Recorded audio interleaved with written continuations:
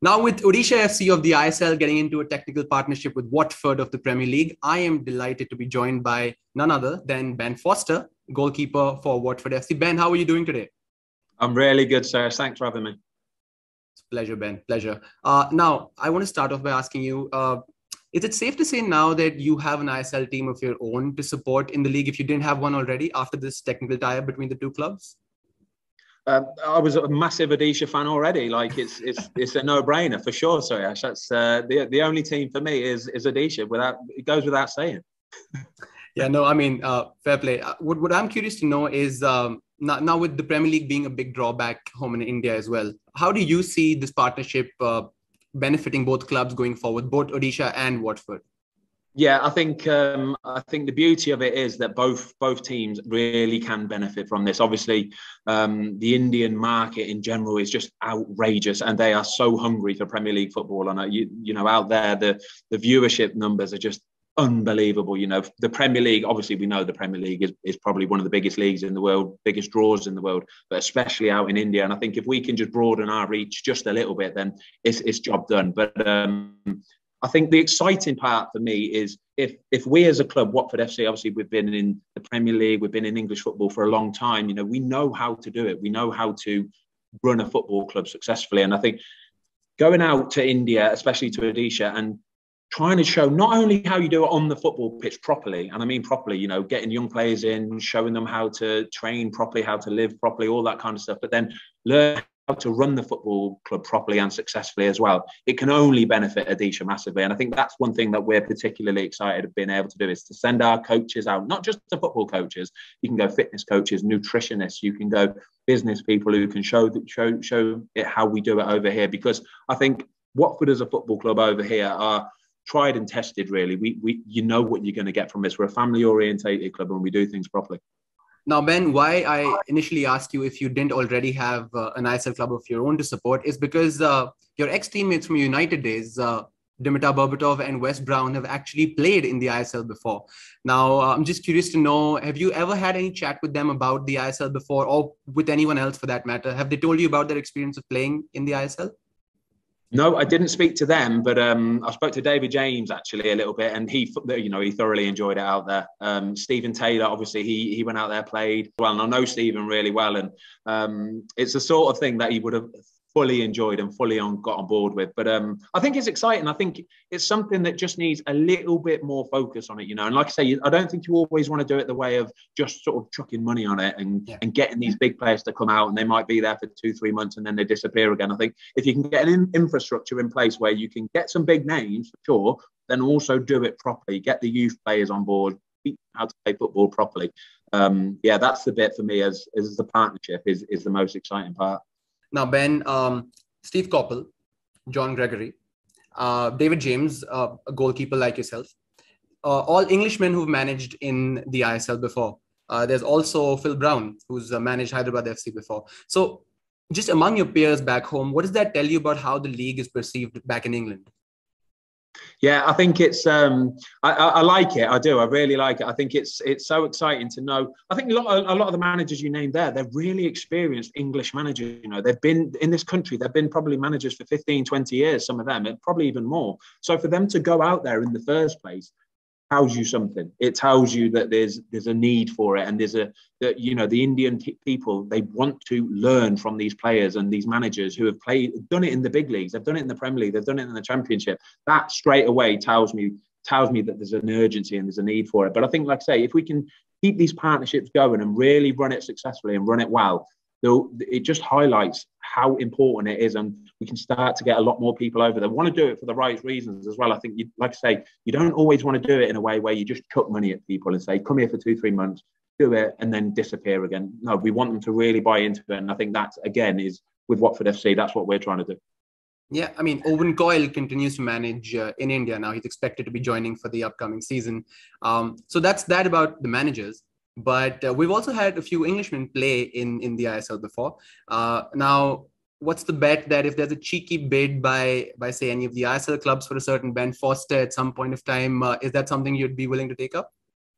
um, for sure. Soyash. Honestly, for sure, I love it. I love it. A cheeky bid. brilliant. Um, yeah, like I said, my, I'm 38 years old. You know, my contract here at Watford um, it, it, runs out at the end of the season, and I think the position I'm in, I actually think it's really exciting. Where I don't really fully know what's going to be next for me. I know I'm fit as a fiddle, and I know that I can still play at a high level. But where next is is going to be the big question. You know, it could be America, it could be India, it could be Odisha. Um, and I think that the, I've never been in this position before. I've never been in a position where my contract is expiring, but I'm actually quite liking it, you know, because I, I'm enjoying playing my football as it is now, but I'm excited for the future as well. So without doubt, it's definitely going to be an option. It's going to be something where I need to sort of address it and assess it at the end of the season and see what's best for me.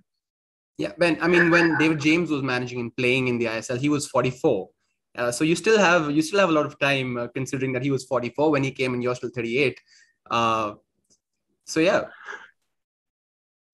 I'm 30. I've got six years left. Then it's fine. I can do. I've got six years left. There's plenty of time. Um, no, to be fair, David James. I, I trained with David James when uh, when I was with England when I when I was a youngster, and the guy scared the life out of me. Honestly, he used to scare the life out of me. He's so he's so big and scared. He was such a good goalkeeper as well. What a guy. Um, no, but like I said, I'm I don't know. It's it's one of these things where I think you can only make these sort of decisions near the end of the season you're enjoying your football. Uh, you're also enjoying doing a lot of things apart from football. Now, I cannot not bring up your YouTube channel, uh, The Cycling Goalkeeper. Uh, I just want to know what were your peers and, and your players and your colleagues' reaction to when you actually wanted to put a GoPro inside the goalpost? And what did your manager initially say to that? Um, okay, before I answer the question, sorry, do you think right, if I if I came and signed for Odisha, if I came out there to do the cycling GK out in India, do you think it would go down well? Do you think it would have a good reception? Absolutely. In fact, in fact, there's uh, one of the most promising young Indian talents, Rahul KP, who plays for Kerala Blasters, is quite the cyclist himself. So if you came down, I'm sure he can uh, show you a few good uh, cycling trails as well. Ah, nice, nice. Are you talking collabs already? I like it. I like it. So there for me, that's a massive tick in the box. If I know I'm going to get views out there, Soyash, it is a no-brainer. I think it's done. Let's sign the deal now. Let's get out there, okay? Um, but no, no, the, the cycling GK, my YouTube channel, it's um, I do, I absolutely love it. Honestly, as I've got older, I, I think if you'd have said to me two years ago, you'll have your own YouTube channel, which I've, I've nearly got a million subscribers now. Um, I'd have said no, absolutely no chance. But I, like I say, that first time where I put the GoPro in the goal, and you can literally see and hear every every single thing that goes on in that little goal mouth um, the reception to it and the reaction was incredible. People people have never seen it from that angle before.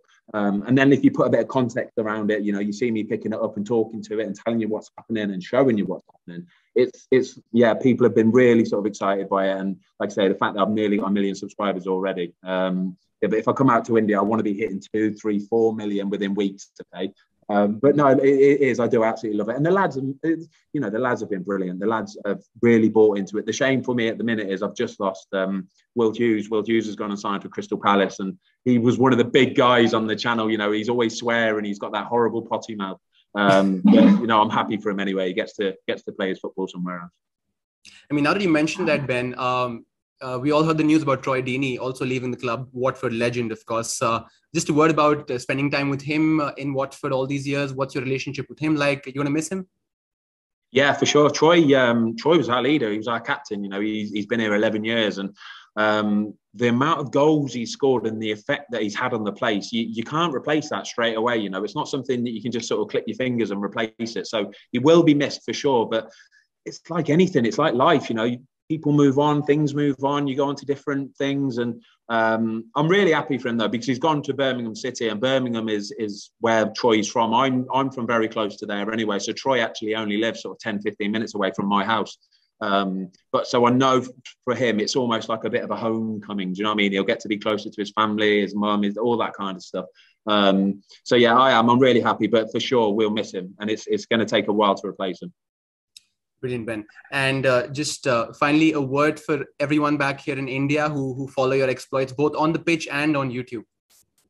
Yeah, thank you guys. It's um, the YouTube. Let's start with the YouTube. If you haven't already, please go and watch it. It is such a good, good thing to watch. YouTube, the cycling GK. Honestly, it's really nice. It's sort of, it's, it's a anybody can watch it, any age range. It will give you a real good insight behind the scenes of what happens at a professional Premier League football club. Um, but when we talk about the partnership between Odisha and, and Watford FC, I think the exciting part for me is coming over to Odisha, trying to implement something that can really improve Indian football, especially Odisha. And, you know, I want to see an Indian footballer over in the Premier League absolutely ripping it up and smashing it up because I think the, the world needs that. It's crying out for it. Thank you so much for joining us today, Ben. All the best for the rest of the Premier League season. Hope you achieve your objectives, whatever they are at the end of the season.